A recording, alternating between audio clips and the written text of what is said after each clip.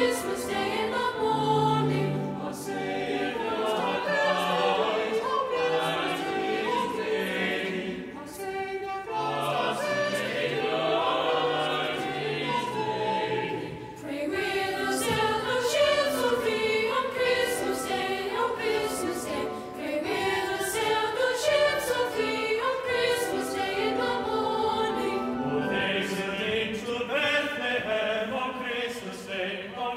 Day, on Christmas Day, to Bethlehem, on Christmas Day in the morning.